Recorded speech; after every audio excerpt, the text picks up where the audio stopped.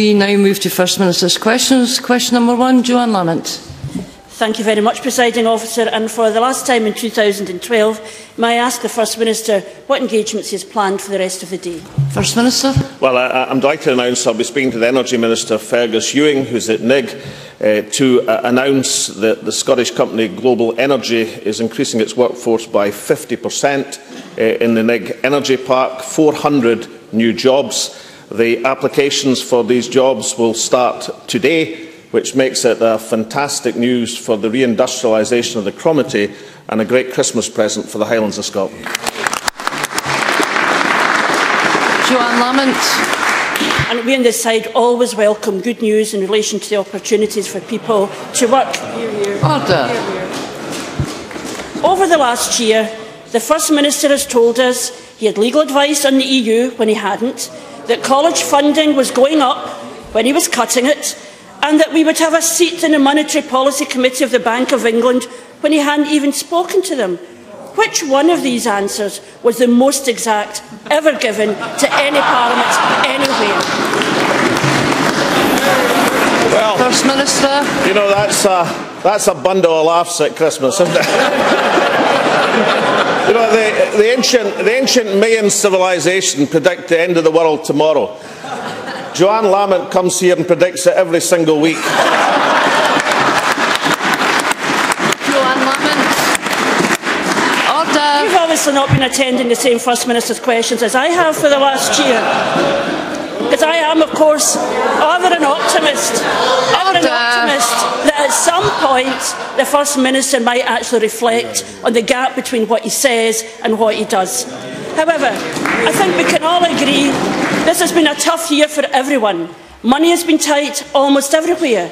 Some of us might ask, what could we do with a half a million pounds? Maybe 60 nurses or 14 teachers? But in Alex Salmond's world, half a million pounds gets you five days watching golf in Chicago. What was the First Minister's preferred foreign investment opportunity visit of the year?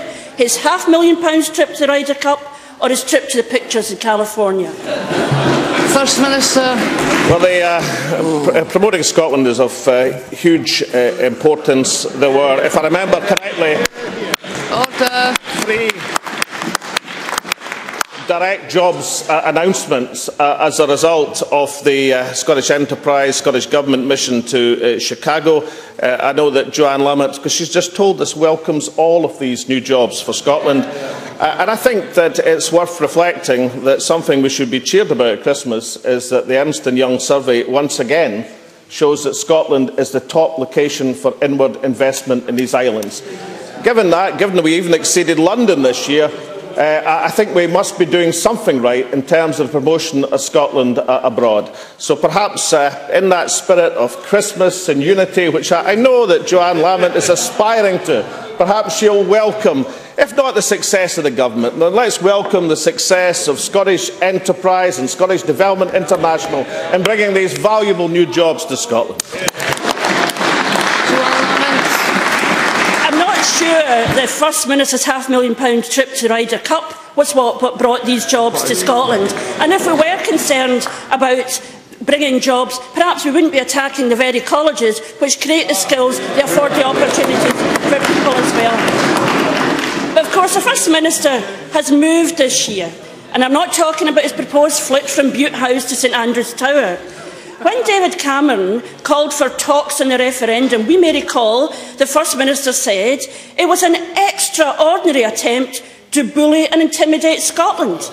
Then he signed the timetable and said it was an historic moment. Can I ask the First Minister who has been his favourite visitor to Edinburgh this year? David Cameron or Rupert Murdoch coming round for a Tunnocks tea cake? Or does he now regret not getting the Dalai Lama round for a caramel wafer? First Minister.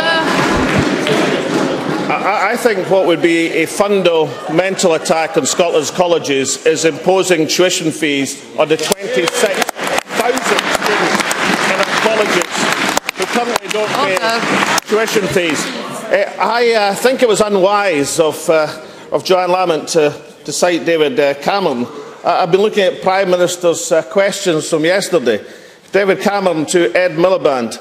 He attacks them for having the same old something for nothing culture that got us into this press in the first place, directly reflecting on the something for nothing speech of Johann Lamont. One year in office as a Labour Party leader in Scotland, and she reaches the ultimate accolade. She's quoted by the Tory Prime Minister in support in the House of Commons. What a disgrace. Johann Lamont. Of course, the First Minister's problem is that John Swinney wanted to have that debate. That is why that is why he asked Campbell Christie to commission a report, and that report said we need to deal with competing demands. And the reality is the price, the price that the First Minister denied of his education choices is cuts in college places and our, and our schools with a growing gap between the rich and the poor. He knows that, and perhaps in New Year he might want to confront the reality of it. However, we are, we are now in the Christmas spirit.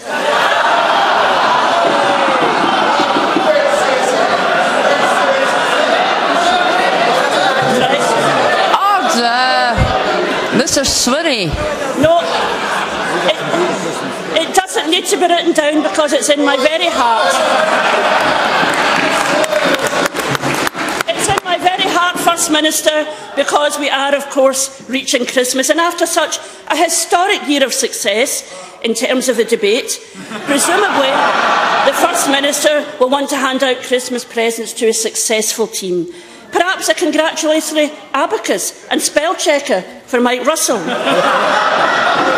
talking, a talking doll for John Swinney so he can learn what dialogue actually means. Or even a shovel for Nicola Sturgeon so she's always shovel ready to clean up the First Minister's next bit of mess. But may I wish, may I wish everyone in the chamber and everyone in the country a happy Christmas and a peaceful and more prosperous new year. And in the First Minister's case, in the First Minister's case, may I wish him as good a year next year as he's had this one.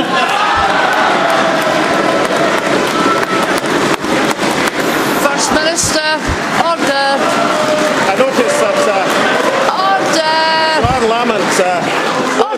Cheerful and in the Christmas spirit when she moves away from Paul Sinclair's script and, uh, and speaks from the heart. Uh, and I advise much more of that over the next year. But let's celebrate something else today.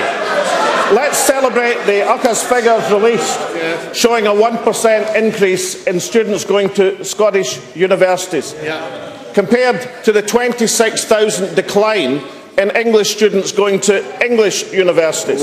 And we consider where both the college and the university funding position in Scotland is hugely greater than it is south of the border. What part of the argument for imposing tuition fees on university students, on 26,000 college students, is actually going to increase the numbers of students going to university? Can we not look at the catastrophe south of the border and hope that all parties will maintain the commitment that they made in this chamber by a huge majority to not have upfront or back-end tuition fees in Scotland. And just to check that in this, this Christmas spirit, my memory wasn't playing tricks, I consulted the Scottish Labour website this, this very day, and I would advise you to consult it quickly because it might be down by Christmas. Here it says, a picture of Johann Lamont. No upfront or back-end tuition fees for Scottish on the website. In the web, there's pictures of Jenny Marra, there's pictures of Lewis MacDonald and Richard Baker all signing the pledge against tuition fees.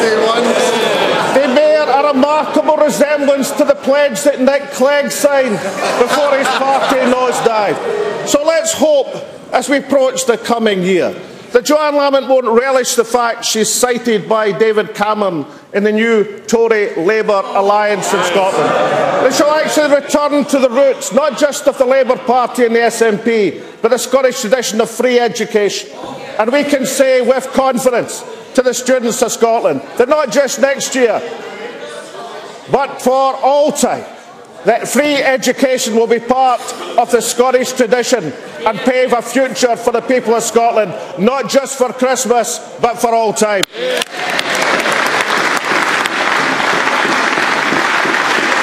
Order. Question number two, Ruth Davidson.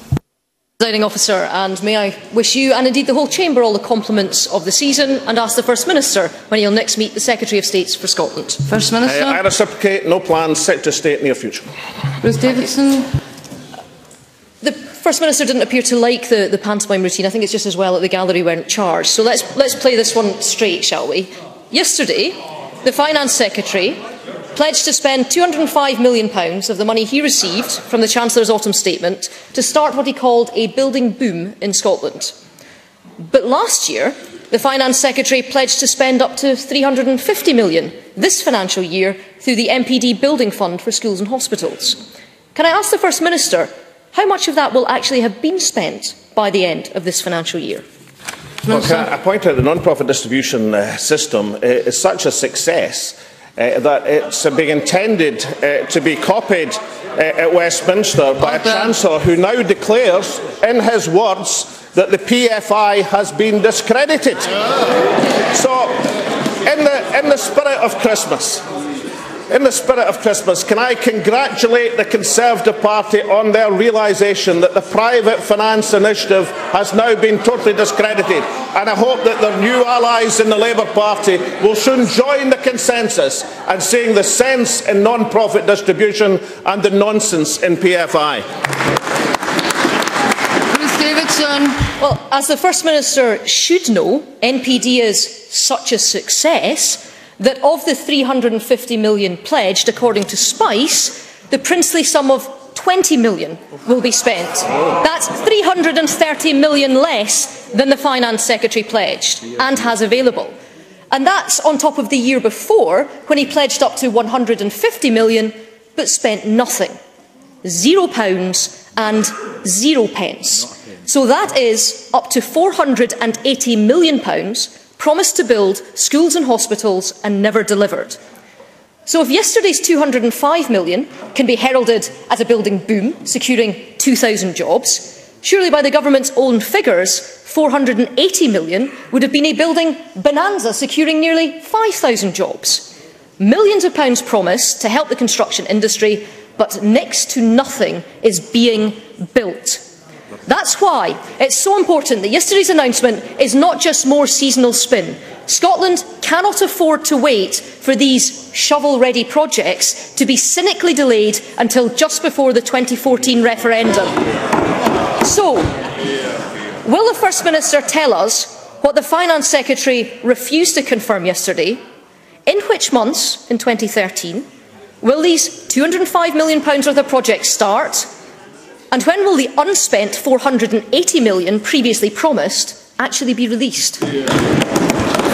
First Minister. The years in planning of the capital spending. Can I point out to uh, Ruth Davidson uh, that if the Conservative Party hadn't cut the capital budget, even under revisions, by 26%, then these funds could have been spent directly over the last two years. In terms of non-profit distribution, can I draw our attention to the most significant non-profit distribution project in Scotland, which explains, incidentally, a question, the Aberdeen peripheral route.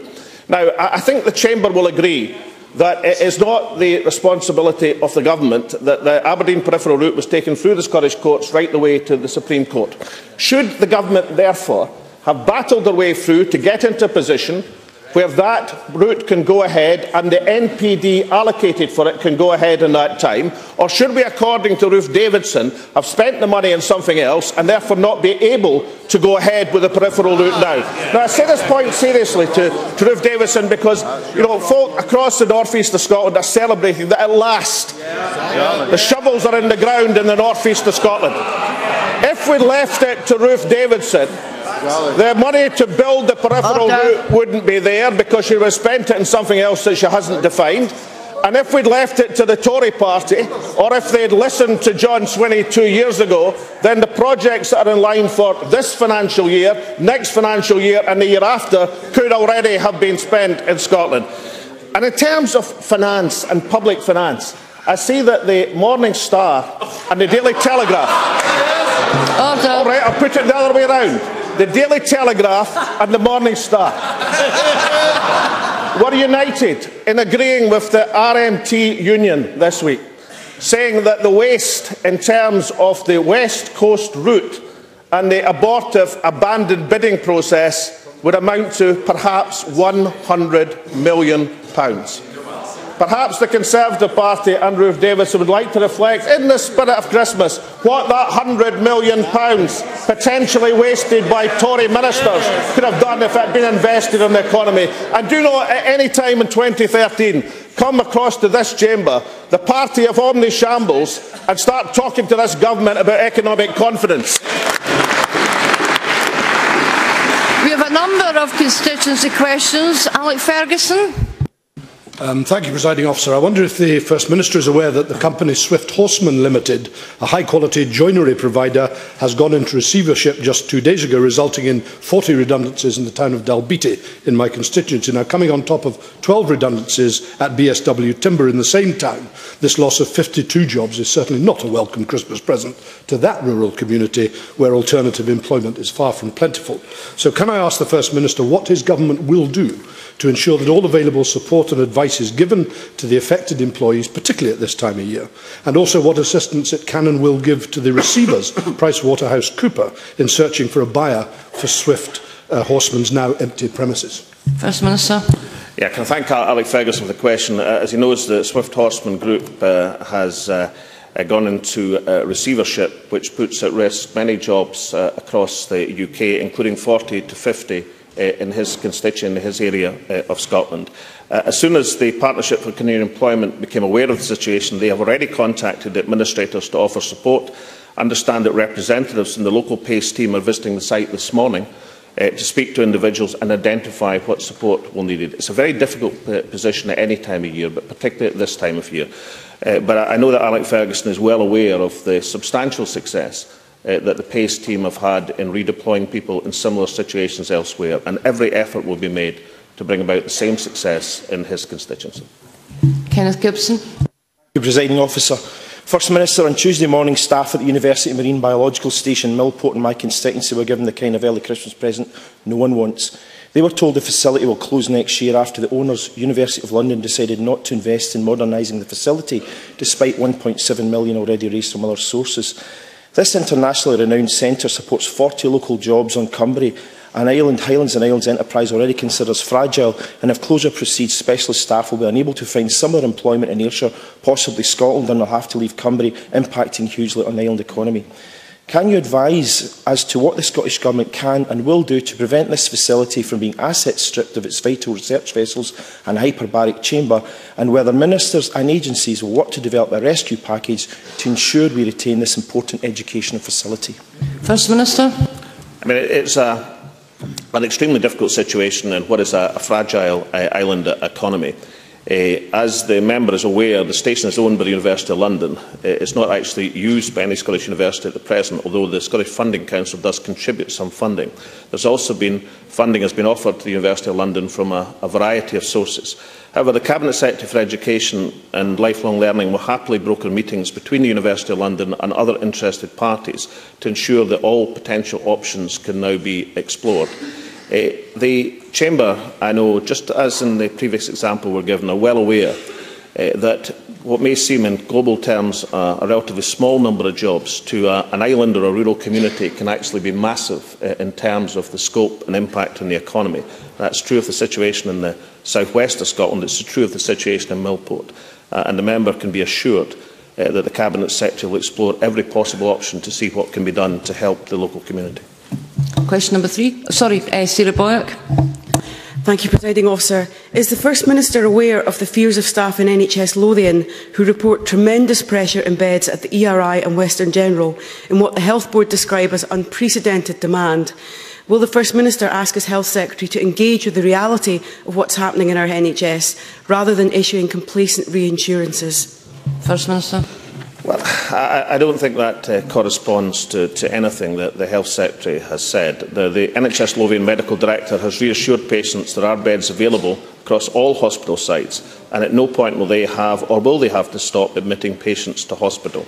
Uh, as the member will be aware, there's a number of reasons for real pressure uh, on beds at, at, the, at the present moment in terms of some of the illnesses which are widespread in the community at the present moment. Uh, but she can be assured that both government ministers and particularly the Health Board uh, are concentrating on this to make sure uh, uh, that uh, patient care is maintained at the highest possible standard. Question number three, Willie Rennie. Uh, to ask the First Minister what issues will be discussed at the next meeting of the Cabinet. First Minister. Uh, issues of importance to the people of Scotland. Willie Rennie. Uh, two months ago, I asked the First Minister to extend nursery education for two-year-olds. He said he would consider it. Now that he's had time, what decision has he reached? First Minister. Well, uh, as Willie Rennie well knows, that uh, there's a, a range of uh, initiatives that have already been announced uh, in terms of the overall ambit of getting it right for, for every child. Uh, the offer of 600 uh, hours for three and four-year-olds, the incentives that have been offered to family centres to expand their operations uh, in, across Scotland, the incentive for family nurse partnerships, which apply to, to people younger than two, in terms of the real difference that can make to some of the most uh, uh, challenged families in our, our community. Uh, so there's a range of measures which are there. The group, that, the all-party group indeed, which is meeting, is considering these matters. They'll come forward, as he knows, in, in legislation. But in terms of the emphasis that's been put on early years development, I don't think it can be seriously said that this government doesn't have a focus and a concentration, and there are substantial and important improvements being made uh, to enhance the life chances of children of Scotland. Willie Rennie. I think all members would welcome what the First Minister says about extra provision But in England, 40% of two-year-olds will be getting 15 hours a week of nursery education. The, the future provision for three and four-year-olds is good as well. And Professor James Heckman, who the First Minister will know is clear, he says the investment before the age of three gets the best return.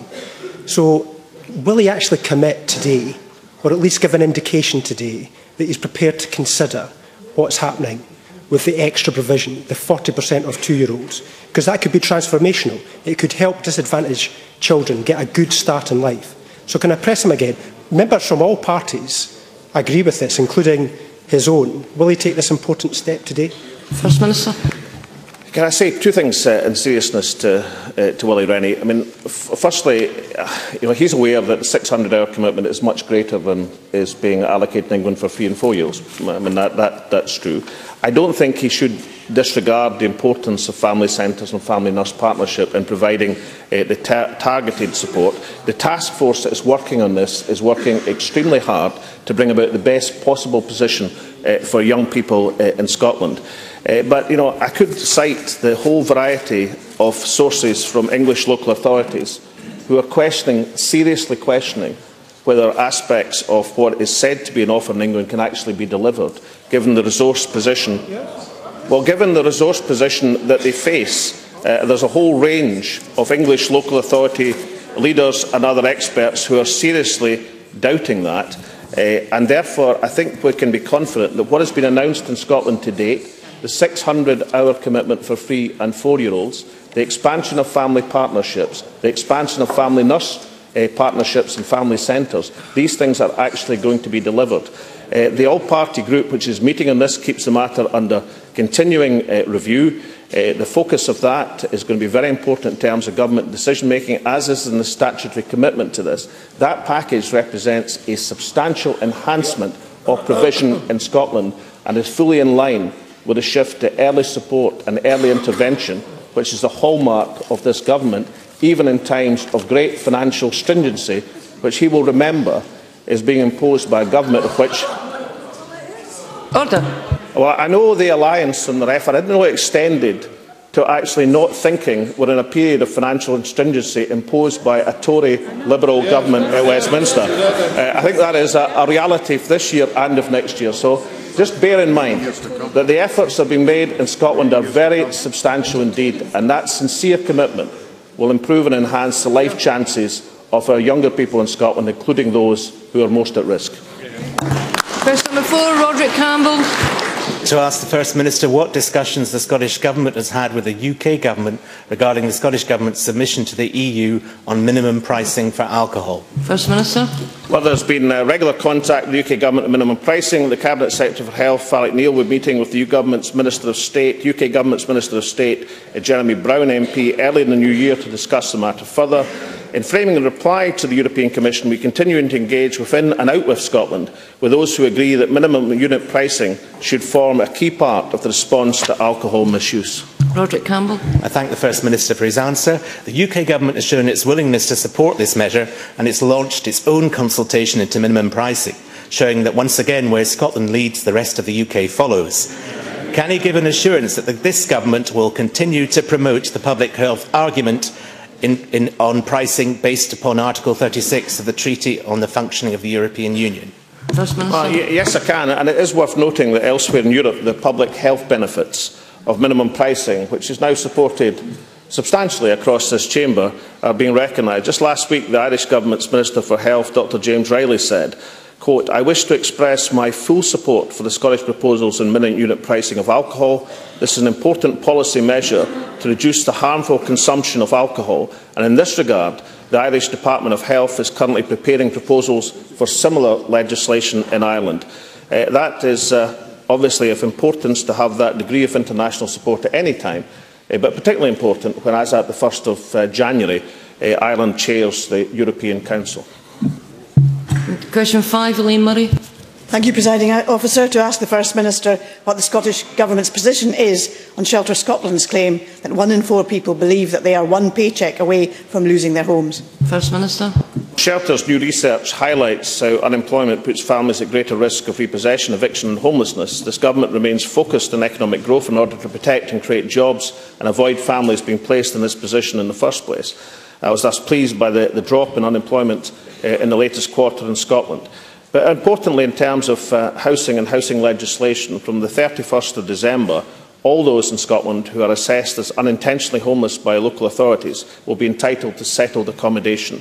In addition, Scotland has the strongest legislative protection anywhere across these islands for those at risk of repossession. Elaine Murray. Uh, I thank the First Minister for that reply.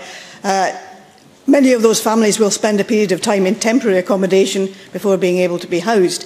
And Shelter have also highlighted that 5,300 homeless children will wake up in temporary housing on Christmas Day because their family has no home to call their own.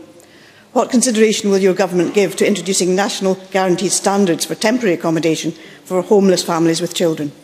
First Minister. Well, we give all measures serious consideration, uh, including that one. But can, can I say I delivered the Eddie Morgan lecture uh, organised by Shelter a, a few weeks ago. Uh, and there was huge support uh, for the legislative improvement uh, in terms of homelessness and, of course, a, recognition uh, of the sharp fall in homelessness applications uh, since 2005-6, with a fall from over 60,000 uh, to over 45,000 in 2011-12. Now, that represents substantial progress as does the legislative framework that gives all unintentionally homeless people uh, equal rights before the law. Uh, and so while there are challenges still to overcome and while all good suggestions will be properly considered, uh, I think the Chamber, as Shelter is, uh, should be proud of the legislative framework that this Parliament has put into place. Uh, and also note that as homelessness in terms of these statistics is falling uh, in Scotland, uh, it's rising elsewhere in these islands. Number six, Murdo Fraser. Uh, thank you. Uh, to ask the First Minister what action has been taken to minimise disruption from industrial action over the festive season. First You know- Minister. I think this is maybe one of these questions which seemed like a good idea on Monday. Murdo Fraser. Can I, can I thank, the, uh, thank the First Minister for, for his response? If, if a week is a long time in politics, presiding officer, the three days since I lodged this question on Monday have proved a very long time in industrial relations. So, uh, will the First Minister join with me in welcoming the resolution of the industrial dispute? Between ScotRail uh, and, and the RMT, and in the spirit of the season, uh, will he join with me in wishing uh, all travellers and those working for them in the sector a safe journey and a very happy Christmas. Let's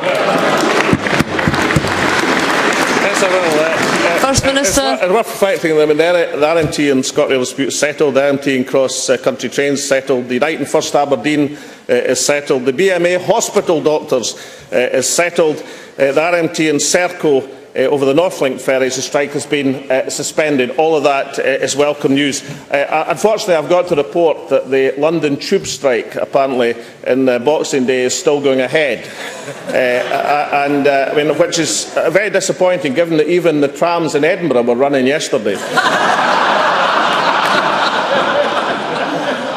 But I know that just, just as the advent of Murdo Fraser's question clearly focused minds in Scotland, eh, in advance of him asking it to come to a, a satisfactory uh, conclusion, I, I'm quite certain if he puts the same mind and advice to Boris Johnson down in London, that perhaps they'll get a result there as well.